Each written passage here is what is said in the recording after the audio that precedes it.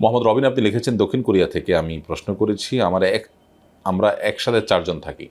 আমরা কেউ জোহর নামাজ পড়তে পারি না। আমরা কি জোহর নামাজ জামাতের পড়ব নাকি একা নামাজ পড়ব? কেন জোহর নামাজ পড়তে পারে না? চারজনের মধ্যে একজন ইমামতি করে জোহর নামাজ পড়বেন।